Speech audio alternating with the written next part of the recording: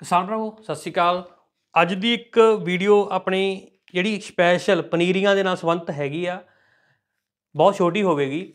ਇਹਦੇ ਵਿੱਚ 10 ਇਹੋ ਜੀਆਂ ਗਲਤੀਆਂ ਜਿਹੜੀਆਂ ਸਿਆਣੇ ਬੰਦੇ ਵੀ ਕਰ ਦਿੰਦੇ ਆ, ਅਣਜਾਣ ਵੀ ਕਰ ਦਿੰਦੇ ਆ, ਨਵੇਂ ਖੇਤੀ ਦੇ ਵਿੱਚ ਆਏ ਆ ਉਹਨਾਂ ਨੇ ਤਾਂ ਕਰਨੀਆਂ ਹੀ ਕਰਨੀਆਂ ਹੈਗੀਆਂ। ਕਈਆਂ ਨੂੰ ਦੁ- ਦੁਕਾਨਦਾਰ ਗਮਰਾਹ ਕਰ ਦਿੰਦੇ ਹੈਗੇ। ਕਈ ਵੀਰ ਆਪਣੇ ਹੀ ਦਿਮਾਗ ਦੇ ਵਿੱਚ ਕੋਈ ਗਲਤ ਗੱਲ ਲੈ ਕੇ ਚੱਲ ਰਹੇ ਹੁੰਦੇ ਆ, ਉਹ ਤੇ ਮੋਹਰ ਲਾਈ ਬੈਠੇ ਹੁੰਦੇ ਆ, ਉਹ ਫਿਰ ਜਦੋਂ ਗਲਤੀ ਕਰ ਲੈਂਦੇ ਆ, ਉਹਨਾਂ ਨੂੰ ਖਮਿਆਜਾ ਭੁਗਤਣਾ ਪੈਂਦਾ ਹੈਗਾ। ਇਹ 10 ਵੱਡੀਆਂ ਗਲਤੀਆਂ ਜਿਹੜੀਆਂ ਤੁਸੀਂ ਪਨੀਰੀ ਦੇ ਵਿੱਚ ਕਦੇ ਵੀ ਨਹੀਂ ਕਰਨੀਆਂ, ਕਿਸੇ ਤਰੀਕੇ ਨਾਲ ਵੀ ਨਹੀਂ ਕਰਨੀਆਂ, ਇਹਨਾਂ ਨੂੰ ਸੁਣ ਲਿਓ, ਸਮਝ ਲਿਓ, ਵਰਤ ਲਿਓ ਤੇ ਅਮਲ ਕਰ ਲਿਓ ਤਾਂ ਕਿ ਤੁਹਾਡੀ ਪਨੀਰੀ ਸੌਖੇ, ਸਹਿਜੇ ਤਿਆਰ ਹੋ ਜੇ ਕਿਉਂਕਿ ਨਹੀਂ ਫਿਰ ਤੁਹਾਨੂੰ 5 ਰੁਪਈਆਂ ਦੀ ਚੀਜ਼ 50 ਰੁਪਈਆਂ ਦੇ ਵਿੱਚ ਮਾਰਕੀਟ ਦੇ ਵਿੱਚ ਮਿਲਣੀ ਹੀ ਮਿਲਣੀ ਹੈਗੀ ਹੈ। ਖੇਤ ਨੂੰ ਜ਼ੀਰੋ ਲੈਵਲ ਕਰਨਾ, ਲੇਜ਼ਰ ਲੈਵਲ ਕਰਾਉਣਾ ਬਹੁਤ ਹੀ ਜ਼ਿਆਦਾ ਜ਼ਰੂਰੀ ਹੈਗੀ ਆ। ਲੇਜ਼ਰ ਲੈਵਲ ਕਰਾਉਣ ਤੋਂ ਬਾਅਦ ਖੇਤ ਦੇ ਵਿੱਚ ਕਦੇ ਵੀ ਰੋਟਾਵੇਟਰ ਨਹੀਂ ਮਾਰਨਾ, ਠੀਕ ਹੈ? ਰੇਤਲੇ ਥਾਂ ਵਿੱਚ ਬਿਨਾ ਕੱਦੂ ਕਰੇ ਪਨੀਰੀ ਨਹੀਂ ਲਾਉਣੀ। ਮਲਚਿੰਗ ਤਰੀਕੇ ਨਾਲ ਆ ਸਕਦੇ ਹੋ, ਪਹਿਲਾਂ ਵੀਡੀਓ ਪਾਈ ਹੋਈ ਹੈਗੀ ਆ। ਡੀਏਪੀ ਦੀ ਜਗ੍ਹਾ ਤੁਸੀਂ ਸੁਪਰ ਵਰਤ ਰਹੇ ਹੋ ਤਾਂ ਉਹਦੇ ਨਾਲ ਵੀ ਜ਼ਿੰਕ ਸਲਫੇਟ ਨਾ ਵਰਤੋ। ਡੀਏਪੀ ਦੇ ਨਾਲ ਵੀ ਜ਼ਿੰਕ ਸਲਫੇਟ ਪਨੀਰੀ ਦੀ ਵਾਲੀ ਜਗ੍ਹਾ ਵਿੱਚ ਨਾ ਵਰਤੋ। ਡੀਏਪੀ ਜੇ ਤੁਹਾਡੀ ਮਜਬੂਰੀ ਆ, ਵਰਤਣੀ ਹੀ ਵਰਤਣੀ ਹੈ, ਤੁਹਾਨੂੰ ਆਦਤ ਪਈ ਹੋਈ ਹੈ। ਤਾਂ ਇਹਦੀ ਵਰਤੋਂ ਪ੍ਰਤੀ ਕਨਾਲ 5-7 ਕਿਲੋ ਤੋਂ ਵੱਧ ਨਾ ਵਰਤੀ ਜਾਵੇ। ਇਹ ਨਹੀਂ ਹੈਗਾ ਕੋਈ 15 ਕਿਲੋ 10 ਮਰਲਿਆਂ ਦੀ ਕੈਰੀ ਚ ਪਾਈ ਜਾਂਦਾ ਹੈਗਾ ਤਾਂ ਉਹ ਬਹੁਤ ਜ਼ਿਆਦਾ ਵੱਡੀ ਮਾਤਰਾ। ਬੀਜ ਦੀ ਮਾਤਰਾ ਕਈ ਵੀਰ 4 ਕਿਲੋ ਬੀਜ ਪ੍ਰਤੀ ਮਰਲੇ ਦਾ ਪਾਉਂਦੇ ਹੈਗੇ ਆ। ਕਈ ਬੀਜ, ਕਈ ਵੀਰ 2 ਕਿਲੋ ਪ੍ਰਤੀ ਮਰਲੇ ਦਾ ਪਾਉਂਦੇ ਹੈਗੇ ਆ। ਜਿਹੜੀ ਬੀਜ ਦੀ ਸਹੀ ਮਾਤਰਾ ਹੈਗੀ ਆ, ਉਹ ਹਾਈਬ੍ਰਿਡ ਵਾਸਤੇ 2 ਕਿਲੋ ਬਹੁਤ ਹੈਗੀ ਆ, ਪਰਮਲ ਵਾਸਤੇ 3 ਕਿਲੋ ਤੱਕ ਵਰਤੀ ਜਾ ਸਕਦੀ ਹੈਗੀ ਹੈ 2.5 ਕਿਲੋ ਤੱਕ। ਤੇ ਜਿਹੜਾ ਤੁਹਾਡਾ ਹਬਾਸਮਤੀ ਹੈਗਾ, ਉਹਦੇ ਵਿੱਚ ਵੀ 2.5 ਤੋਂ 3 ਕਿਲੋ ਪ੍ਰਤੀ ਮਰਲੇ ਦੀ ਜਿਹੜੀ ਬੀਜ ਦੀ ਉਹ ਮਾਤਰਾ ਵਰਤੀ ਜਾ ਸਕਦੀ ਹੈਗੀ ਹੈ। ਬੀਜ ਸੋਧ ਨਾ ਕਰਨਾ ਇਹ ਵੱਡਾ ਪੰਗਾ ਹੈ। ਚਾਹੇ ਤੁਹਾਡੀ ਪਰਮਲ ਪਨੀਰੀ ਹਾਈਬ੍ਰਿਡ ਦੇ ਵਿੱਚ ਝੰਡਾ ਰੋਗ ਨਹੀਂ ਆਉਂਦਾ, ਬਟ ਉਹਦੇ ਵਿੱਚ ਕੋਈ ਹੋਰ ਬਿਮਾਰੀ ਦੇ ਕਾਰਨ ਜਾ ਸਕਦੇ ਹੈਗੇ ਆ, ਤੁਸੀਂ ਉਹਨਾਂ ਨੂੰ ਰੋਗ ਰਹਿਤ ਕਰਨਾ ਤੁਹਾਡੀ ਜ਼ਿੰਮੇਵਾਰੀ ਹੈ, ਤੁਹਾਡੀ ਨੈਤਿਕਤਾ, ਤੁਹਾਡਾ ਫਰਜ਼ ਹੈਗਾ, ਤੁਹਾਡਾ ਪਹਿਲਾ ਕਦਮ ਹੈਗਾ, ਇਸ ਸਮੇਂ ਜਿਹੜਾ ਕੀਤਾ ਹੋਇਆ ਕੰਮ ਆ, ਤੁਹਾਨੂੰ ਵਾਢੀ ਸਮੇਂ ਉਹਦਾ ਰਿਜ਼ਲਟ ਜ਼ਰੂਰ ਦਿਖੂਗਾ। ਬੀਜ ਵਾਲੀ ਜਿਹੜੀ ਜਗ੍ਹਾ ਹੈਗੀ ਆ, ਉਹ ਪਨ- ਪਨੀਰੀ ਲਾਉਣ ਤੋਂ ਪਹਿਲਾਂ, ਜੇ ਕਿਸੇ ਵੀਰ ਨੇ ਜੂਨ ਚ ਪਨੀਰੀ ਲਾਉਣੀ ਆ, ਜੂਨ ਸਾਰੀ ਪਨੀਰੀ ਲੱਗੀ ਜਾਂਦੀ ਛੋਟੀਆਂ ਕਿਸਮਾਂ ਦੀ, ਲੰਬੀਆਂ ਦੀ, ਜਾਂ ਬਾਸਮਤੀ ਕਿਸਮਾਂ ਦੀ, ਜਿਨ੍ਹਾਂ ਦੀ ਬਜਾਈ ਜੁਲਾਈ ਦੇ ਵਿੱਚ ਹੁੰਦੀ ਹੈ, ਲਗਵਾਈ, ਬਿਜਾਈ ਦੇ ਵਿੱਚ ਹੁੰਦੀ ਹੈ, ਜੁਲਾਈ 'ਚ।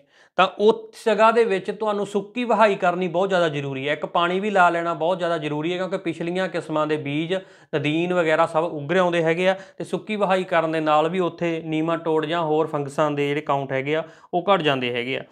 ਪਹਿਲੇ ਤਿੰਨ ਪਾਣੀ ਆ ਜਿਹੜੇ ਕਿਸੇ ਵੀ ਤਰੀਕੇ ਨਾਲ ਤੁਸੀਂ ਪਨੀਰੀ ਲਾਉਣੇ ਹੈਗੇ ਹੋ, ਉਹ ਬਹੁਤ ਪਤਲੇ ਲਾਉਣੇ ਆ। ਪਹਿਲਾ ਜਿਹੜਾ ਪਾਣੀ ਆ, ਉਹ ਪੂਰਾ ਭਰਮਾ ਲਾਇਆ ਜਾ ਸਕਦਾ। ਉਸ ਤੋਂ ਬਾਅਦ ਇਹ ਨਹੀਂ ਹੈਗਾ, ਪਹਿਲੇ 8 ਦਿਨਾਂ ਦੇ ਵਿੱਚ 8 ਪਾਣੀ ਲਾਉਣੇ ਆ। ਨਹੀਂ ਜਿੱਥੇ ਪਾਣੀ ਜ਼ਿਆਦਾ ਖੜੂਗਾ, ਜ਼ਿਆਦਾ ਪਾਣੀ ਲੱਗੂਗਾ, ਉੱਥੇ ਬੀਜ ਕਈ ਵਾਰ ਲੇਟ ਉੱਗਰਦਾ ਹੈਗਾ। ਬੀਜ ਨੂੰ ਭਿਉਣਾ ਬਹੁਤ ਜ਼ਰੂਰੀ ਹੈ। ਕਈ ਵੀਰ ਸੁੱਕਾ ਬੀਜ ਦਾ ਛਿੱਟਾ ਦਿੰਦੇ ਹੈਗੇ ਆ, ਚਲੋ ਉਹਨਾਂ ਦੀ ਮਰਜ਼ੀ ਹੈਗੀ ਆ ਬਟ ਉਹ ਲੇਟ ਉੱਗਰਦਾ ਹੈਗਾ। ਕਈ ਵਾਰੀ ਗਰਮੀ ਦੇ ਪ੍ਰਭਾਵ ਤਹਿਤ ਉਹਦੀ ਪੂਰਨ ਪ੍ਰੋਪਰ ਤੌਰ ਤੇ ਜਰਮੀਨੇਸ਼ਨ ਨਹੀਂ ਹੁੰਦੀ।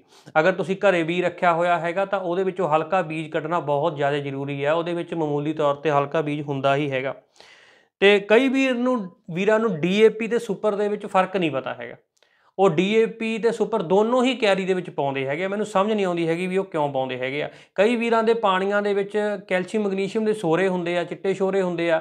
ਤਾਂ ਉੱਥੇ ਉਹ ਫੇਰ ਦੁਬਾਰੇ ਮੈਗਨੀਸ਼ੀਅਮ ਪਾਈ ਜਾਂਦੇ ਆ, ਕੈਲਸ਼ੀਅਮ ਪਾਈ ਜਾਂਦੇ ਹੈਗੇ ਆ, ਸੁਪਰ ਪਾਈ ਜਾਂਦੇ ਆ। ਤਾਂ ਉੱਥੇ ਉਹਦਾ ਕੋਈ ਰਿਜ਼ਲਟ ਨਹੀਂ ਮਿਲੇਗਾ। ਮੈਗਨੀਸ਼ੀਅਮ ਆਪਣੇ ਆਪ ਤੇ ਇੱਕ ਜ਼ਮੀਨ ਦੇ ਵਿੱਚ ਚਾਹੀਦਾ ਬਟ ਇਹ ਲੋੜੋਂ ਵੱਧ ਇਹ ਨੁਕਸਾਨ ਵੀ ਕਰਦਾ ਹੈਗਾ। ਹਾਂ, ਜੇਕਰ ਪਨੀਰੀ ਲਾਤੀ ਉਸੇ ਦਿਨ ਹੀ ਉਹਦੇ ਵਿੱਚ ਸਟੰਪ ਵਗੈਰਾ ਦੀ ਵਰਤੋਂ ਨਹੀਂ ਕਰਨੀ ਮਚੈਟੀ ਦੀ ਵਰਤੋਂ ਨਹੀਂ ਕਰਨੀ, ਬੂਟਾ ਕਲੋਰ ਦੀ ਵਰਤੋਂ ਨਹੀਂ ਕਰਨੀ, ਨਹੀਂ ਤਾਂ ਉਗਣ ਸ਼ਕਤੀ ਤੇ ਬਹੁਤ ਮਾੜਾ ਪ੍ਰਭਾਵ ਪੈ ਸਕਦਾ। ਸ਼ੋਰ, ਤੁਸੀਂ ਪਾਣੀ ਨੂੰ ਜਿਹੜਾ ਹੈਗਾ ਯੂਜ਼ ਕਰਦੇ ਹੈਗੇ ਹੋ, ਪਨੀਰੀ ਦੇ ਜਿਹੜੇ ਬੀਜ ਹੈਗੇ ਆ, ਉਹਨਾਂ ਨੂੰ ਭਿਉਣ ਦੇ ਲਈ, ਤਾਂ ਉਹਦੇ ਵਿੱਚ ਸ਼ੋਰੇ ਵਾਲਾ ਪਾਣੀ ਨਾ ਵਰਤੇ ਜਾਵੇ। ਉਹਦੇ ਲਈ ਤੁਸੀਂ ਵਾਟਰ ਵਰਕਸ ਦਾ ਪਾਣੀ, ਨਹਿਰੀ ਪਾਣੀ, ਕੋਈ ਵੀ ਚੰਗਾ ਪਾਣੀ ਆਰਓ ਦਾ ਪਾਣੀ ਵਰਤ ਸਕਦੇ ਹੋ, ਕਿਉਂਕਿ ਥੋੜਾ ਹੀ ਪਾਣੀ ਆਪਾਂ ਨੇ ਵਰਤਣਾ ਹੁੰਦਾ। ਕਿਆਰੀਆਂ ਵੱਡੀਆਂ ਜ਼ਿਆਦਾ ਨਹੀਂ ਪਾਉਣੀਆਂ ਤੇ ਨਾ ਹੀ ਵਾਲੀਆਂ ਛੋਟੀਆਂ ਕਿਆਰੀਆਂ ਪਾਉਣੀਆਂ। ਕਿਆਰੀਆਂ ਦਾ ਸਾਈਜ਼ ਅਗਰ 5 ਮਰਲੇ ਦੀ ਪਨੀਰੀ ਹੈ ਤਾਂ ਇੱਕੋ ਹੀ ਕਿਆਰੀ ਲਾਓ। 10 ਮਰਲੇ ਦੀ ਪਨੀਰੀ ਹੈ ਤਾਂ ਵੀ ਇੱਕ ਲੱਗ ਸਕਦੀ ਹੈਗੀ 15 ਮਰਲੇ ਦੀ ਪਨੀਰੀ ਹੈਗੀ ਹੈ ਤਾਂ ਉਹਨੂੰ ਦੋ ਕਿਆਰੀਆਂ ਦੇ ਵਿੱਚ ਡਿਵਾਈਡ ਕੀਤਾ ਜਾ ਸਕਦਾ ਹੈਗਾ। ਪਨੀਰੀ ਦੁਪਹਿਰ ਦੇ ਸਮੇਂ ਕਦੇ ਵੀ ਨਹੀਂ ਲਾਉਣੀ। ਭਾਵੇਂ ਬੱਦਲ ਬੱਦਲਵਾਈ ਹੈ, ਮੀਂਹ ਪੈਂਦਾ, ਕਣੀਆਂ ਪੈਂਦੀਆਂ, ਠੰਡੀ ਹਵਾ ਚੱਲਦੀ ਹੈ, ਦੁਪਹਿਰ ਦੇ ਸਮੇਂ ਪਨੀਰੀ ਲਾਉਣ ਦਾ ਸੁਭਾਅ ਬੰਦ ਕਰੋ। ਸਵੇਰ ਦੇ ਸਮੇਂ ਪੈ ਪਾੜ ਦੀ ਨਾਲ, ਸੂਰਜ ਚੜ੍ਹਨ ਸਮੇਂ ਜਾਂ ਸੂਰਜ ਛਿਪਣ ਸਮੇਂ ਹੀ ਲਾਓ। ਲਾਈਟ ਵਗੈਰਾ ਨਹੀਂ ਹੈਗੀ ਤਾਂ ਜਨਰੇਟਰ ਦਾ ਪ੍ਰਬੰਧ ਕਰੋ। ਤੇ ਕੱਚੀ ਰੂੜੀ ਕਦੇ ਵੀ ਪਨੀਰੀ ਦੇ ਵਿੱਚ ਨਹੀਂ ਪਾਉਣੀ। ਬਹੁਤ ਵੀਰਾਂ ਦੀ ਵੱਡੀ ਕੰਪਲੇਂਟ ਹੈ। ਕਨਾਲ ਦੇ ਵਿੱਚ ਇੱਕ ਟਰਾਲੀ ਪਾ ਦਿੰਦੇ ਆ। ਕਿੱਲੇ ਦੀਆਂ ਅੱਠ ਟਰਾਲੀਆਂ ਕਦੇ ਜ਼ਿੰਦਗੀ 'ਚ ਨਹੀਂ ਪਾਈਆਂ ਹੁੰਦੀਆਂ। ਤਾਂ ਉਹ ਕੱਚੀ ਰੂੜੀ ਤੁਹਾਡੇ ਬੀ ਦੀ ਉਗਣ ਸ਼ਕਤੀ ਵੀ ਘਟਾ ਸਕਦੀ ਹੈ। ਉਗਣ ਤੋਂ ਬਾਅਦ ਪੀਲਾਪਣ ਵੀ ਉਹਦੇ ਵਿੱਚ ਆ ਸਕਦਾ। ਉਹ ਦੌੜੀਆਂ ਦੇ ਵਿੱਚ, ਤੁਹਾਡੀ ਪਨੀਰੀ ਦੇ ਵਿੱਚ ਪੀਲਾਪਣ ਲੈ ਕੇ ਆ ਸਕਦੀ ਹੈਗੀ ਆ। ਇਸ ਤੋਂ ਇਲਾਵਾ ਵੀ ਕੋਈ ਹੋਰ ਤੁਸੀਂ ਮੇਰੇ ਨਾਲ ਜ਼ਿਆਦਾ ਸੂਝਵਾਨ ਵੀਰ ਦੇਖ ਰਹੇ ਹੈਗੇ ਕਮੈਂਟਾਂ ਦੇ ਵਿੱਚ ਆਪਣੀ ਰਾਏ ਜ਼ਰੂਰ ਦੇ ਸਕਦੇ ਹੋ। ਆਉਣ ਵਾਲੇ ਸਮੇਂ ਦੇ ਵਿੱਚ ਫੇਸਬੁੱਕ ਇੰਸਟਾਗ੍ਰam YouTube ਤੇ ਹੋਰ ਵੀਡੀਓ ਦੇਖਣ ਦੇ ਲਈ ਬਣੇ ਰਹੋ। ਸਾਰੇ ਵੀਰਾਂ ਦਾ ਬਹੁਤ ਧੰਨਵਾਦ। Thank you